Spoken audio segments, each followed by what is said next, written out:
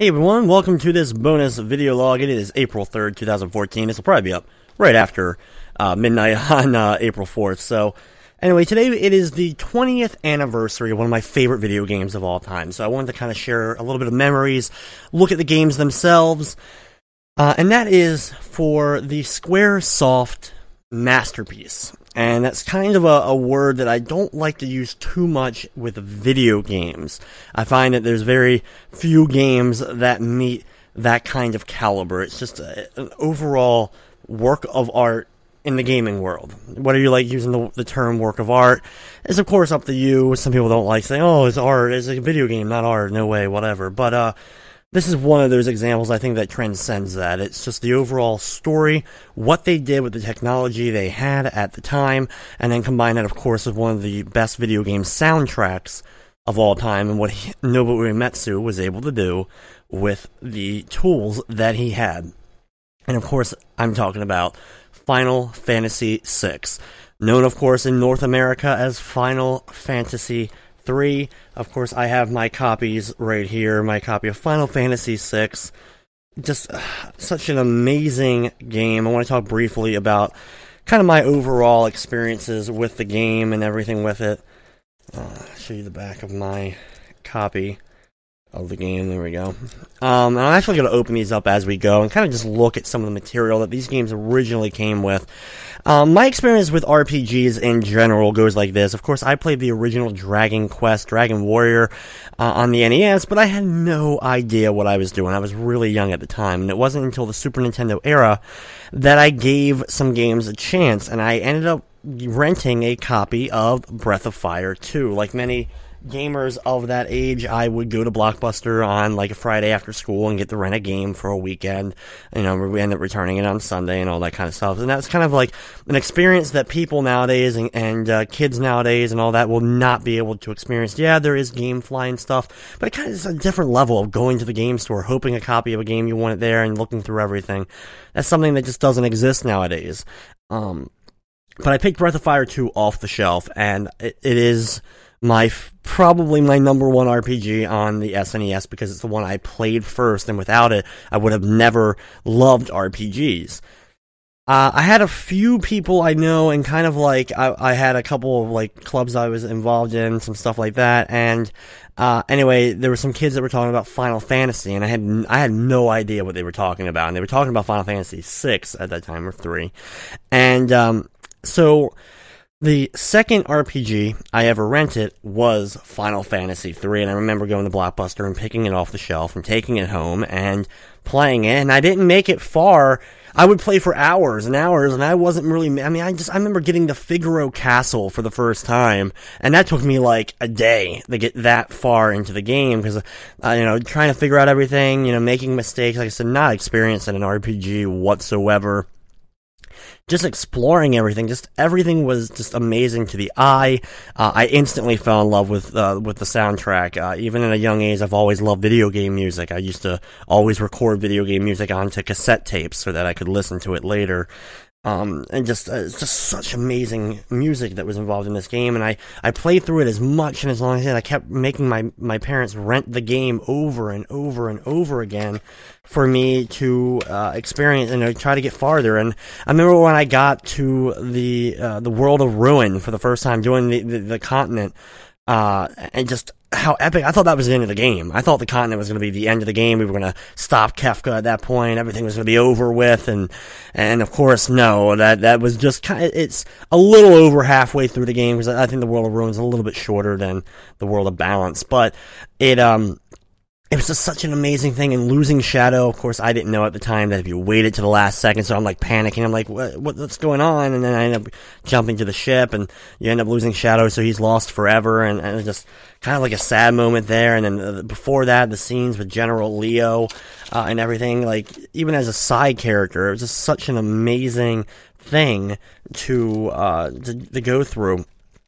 And I mean, I played so so long, I'm playing for hours and hours and hours, and uh, I got to the like I said, I got to the world of ruin, and I got a little bit into the world of ruin, and finally I had to take the game back, and it was such a disappointment um, because I really wanted to keep playing it, but at that point I had just kept renting it. So when we took it back, I had kind of asked my parents, "Hey, is there any way?" You know, can we ask the people at Blockbuster? And at this point, this was late in the NES. They were starting to sell SNES games away. Like they were, it was starting, it was close to the PlayStation N64 era at this point when I finally got a chance to play Final Fantasy III. So I know really late to the party. Um, but it didn't make any less of an impact at that point. Just showing you guys some of the, uh, the insides here for Final Fantasy VI. Uh, and there you go. There's a copy of the actual card. Battery and all does work on this, and I've actually played through most of the game on uh, on this card in Japanese. Kind of fun to do so. Um, but uh, anyway, I uh, we we went there and they were trying to get rid of some of the block games and all. And I I'll never forget asking uh, the the person working the clerk. You know, I had no idea. Asking the clerk if we could buy the game. You know, how much it would cost. Can we just buy the, this copy of the game so I could continue uh, playing the game at that point? And uh, they were like, "Oh, let me check with the manager." Blah blah blah. And then they went to the back and uh, came back and were like, "No, um, they say there's too much activity on it. Uh, p- too many people are renting the game still." I'm like, "Well, I've been renting it for like I'm the one who's been renting it. I've been renting it for like two, three weeks now in a row. Just keep renting the same game every single time. It's not, you know, taking it back and just renewing it." And uh, it's just one of those things where it's just like I'm I'm the one doing it. So anyway, they wouldn't let me buy it, and it was just, I was so heartbroken, like defeated at that point.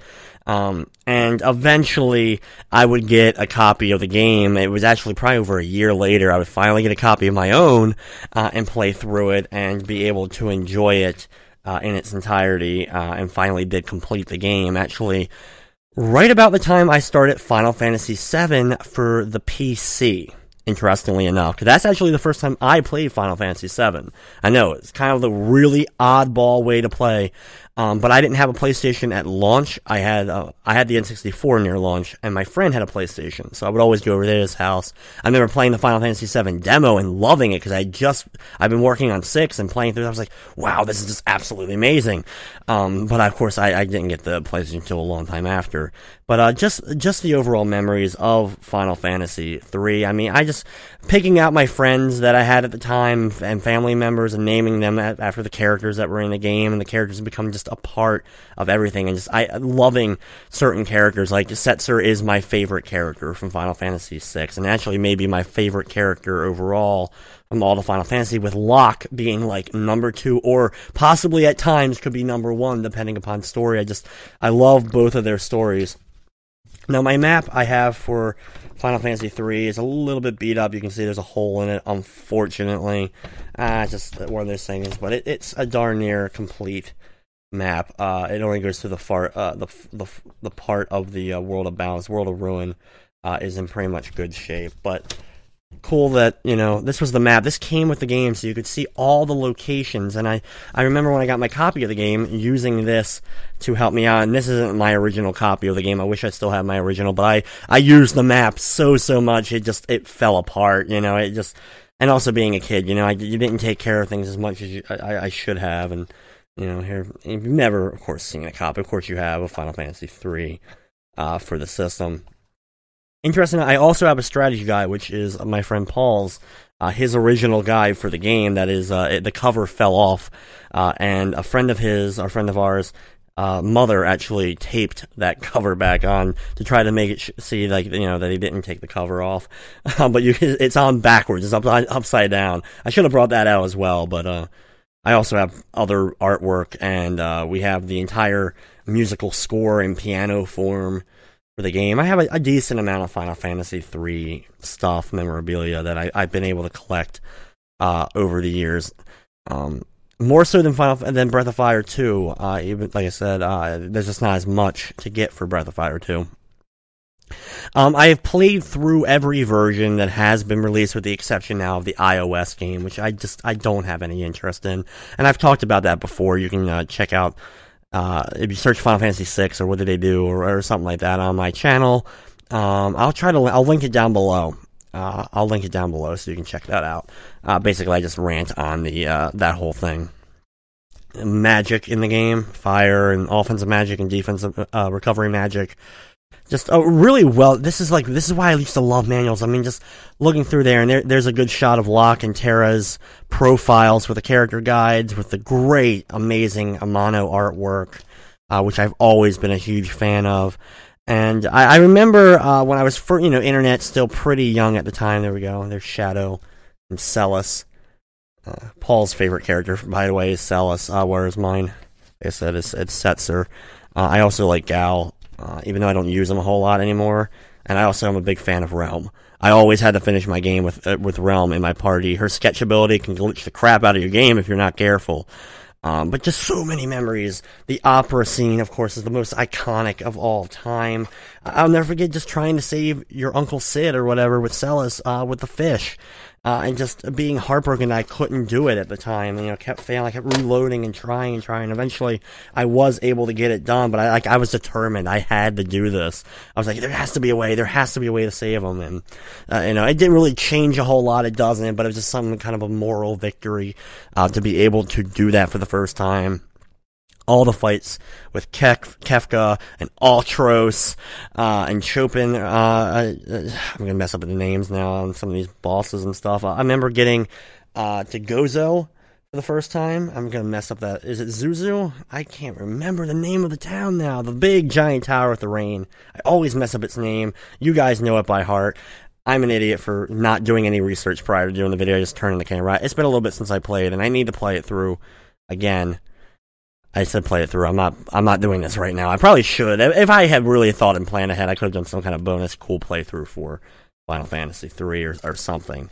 Uh, but it kind of like just came up and someone posted it on my wall today. Brian, um, by the way, Kiriyama. He was the one who posted the article uh, with the celebration for the Final Fantasy uh, three 20 year anniversary. So thank him for bringing this to my attention. So anyway, I had to do this uh, bonus video. Let me trying to get the uh, the manual and all that. I can mess with this after I get off screen. Trying to get like the uh, the the map and everything else to kind of fit back in so it's not sticking out at all. A little bit difficult.